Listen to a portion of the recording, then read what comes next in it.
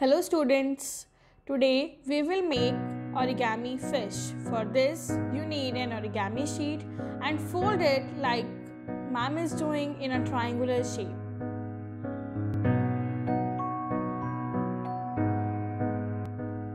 Like this and then again fold it from the another side in a triangular shape like ma'am is doing.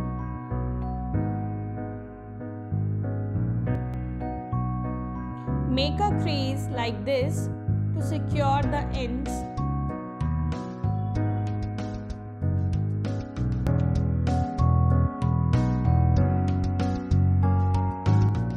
Then make a rectangular shape like this.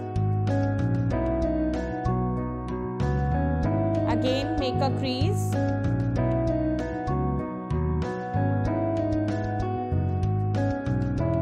Then triangle by inserting another triangle like this. You have to repeat this step from both the sides to get a triangular shape open from both the sides like so. Our triangular shape is ready and it will open from both the sides like this.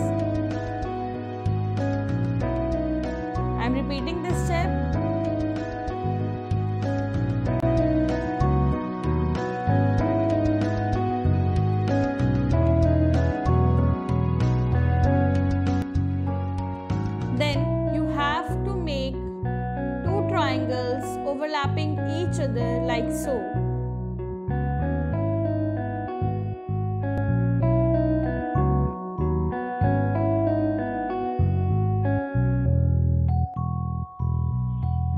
See, ma'am is overlapping all the both the triangles like this. Yeah, our fish is ready.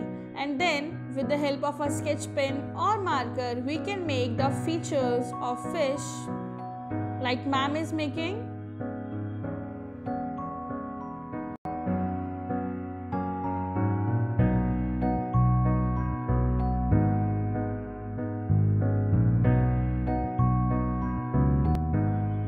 And yeah, our fish is ready.